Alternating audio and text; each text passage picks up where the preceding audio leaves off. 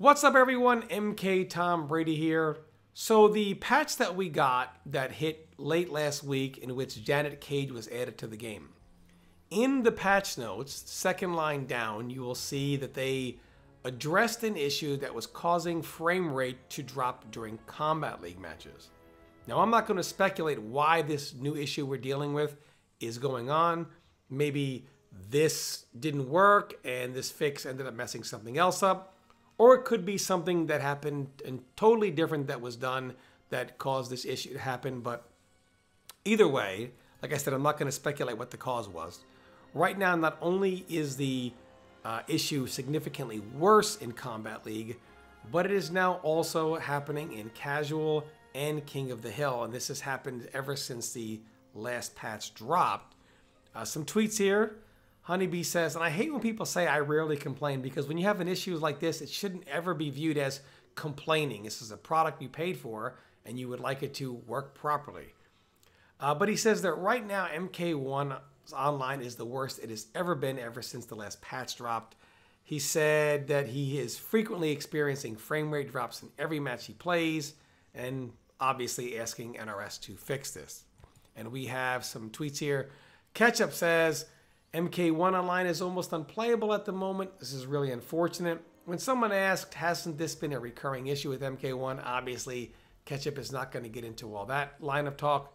But he does say that he hasn't had that many issues until the Janet patch. That right now the performance seems to have taken a massive hit, especially when the ping spikes. And there were several other players who spoke out that were in the Coliseum tournament last night that were saying that the the online right now was almost unbearable. Like it was really really bad. And this is the part where I'm sure everybody is waiting for me to absolutely obliterate NRS into the floor over this. But surprisingly, I'm not because within 24 hours, we have communication. So within 24 hours of people expressing their concerns, NRS responds, says we are aware of lag issues affecting certain online modes in MK1. Our team is currently working on a fix. Keep an eye here for updates. Now, who knows how long this fix could take? It could be soon, it could be a while. We all know what, you know, it took what 45 days to fix the DC issue. So I'm not really sure how long this is going to take and it's kind of a recurring theme whether they do something it causes an issue then they have to do a fix for the fix and sometimes a fix for the fix for the fix. But the difference is normally we get no communication at all or if we do it's weeks after people have been talking about the issue. This time we got it immediately. So I'm going to give them some praise on this one this is something we'd love to see more of. And even though we kind of have to have a wait and see how long is this going to take or how many attempts it could take, the fact that they did respond right away makes us feel like, all right, they're aware of it and something is going to be done. So now I'm going to give them some really high praise for this. This is what we want to see more of NetherRealm. So I'm not going to kill them over this. Just right now, just know when you play online, uh, you're going to have not the best experience, but they are aware of it. And thank you, NRS, for responding right away. Uh, please, more of this. However, there's another issue I want to talk about. Now, this was tweeted out, or, or this was talked about very early in the game. Somebody uh, uh, at me on Twitter right when the game first launched.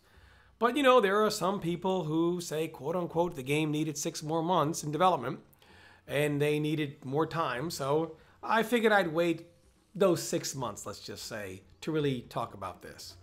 So what is happening right now is I was, say, tagged me, Ernesto from Button Check, Dynasty, Maximilian Sonic Fox. They probably should have tagged Mike Hollow in this as well. But right now that there is an issue in which, for some reason, um, they say the players in West Africa that they play fine with some other regions like Europe and Middle East. I don't really know how fine that is because, again, when you're going from country to country or continent to continent, the netcode is still not all that good. But I guess they're saying compared to what they have within their own region, that, you know, it's it's a godsend to be playing somebody else outside of the region. He's saying that within their region they should be getting, you know, maybe 30 ms. It's MK1's netcode, so maybe a little higher, 60, 70, whatever. He's saying, but it's 300 MS instead. It's not an issue with their internet providers. It's an issue with how the game connects us online. It seems the game is connecting them with servers outside of their region and that they are. So basically, he's saying is if they're playing their neighbor, instead of connecting them to a localized server, both them and their neighbor is going to be connected to a server somewhere in Europe. So instead of low ping, they're going to be dealing with 300 ms even though they live right next door to each other and that it is unbearable to play people within their region. So right now, they're always going to get high ping. If they play out of their region because it's significantly out of their region, they're going to get high ping. But I let's just say 150 ms maybe, uh, maybe 100 ms. But within their region, instead of getting those better pings, you know, you know 50, 60 ms, 30 ms, instead they're getting even worse ping than when they play outside of their region.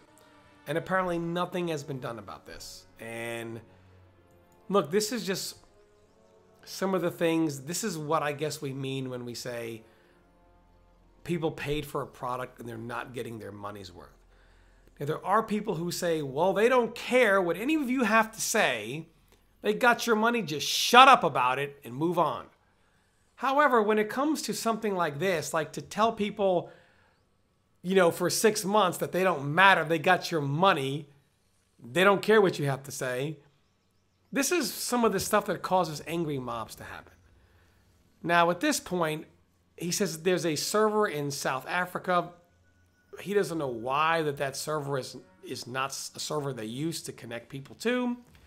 Just wants to know if NRS can please do something about it. Obviously, they're not going to hear anything I have to say they don't care what I have to say. Nobody cares what I have to say. But hopefully, somebody can reach them and help these players out. Because imagine you're trying to play your neighbor and you got a 300 MS connection. Uh, I mean, as a paying customer, I would say unacceptable. You charged me $109 for this, and six months later, this is still going on. And I don't think that they've addressed this at all. So hopefully, those players there can get some help and get a fix for that. As always, you know, thanks for watching, everyone. Let me know what you guys think. I do think it is a good sign to see NRS giving some immediate feedback for an issue like this because, again, I was playing a lot over the weekend. I streamed for seven hours nonstop gameplay yesterday, and it was horrible. Uh, but, you know, hopefully this is a fix that happens sooner rather than later. And hopefully those players over in West Africa can get some help. Uh, NRS, come on, man. You know, I know whatever you want to say, you are Warner Brothers, whoever, but the bottom line is you can't charge people $109 and expect them to be happy that stuff like this is still persisting six months later and that no one is even addressing it uh, from there or from Warner Brothers. So, thanks for watching, everyone. Love the feedback in the comments. Stay tuned for more content.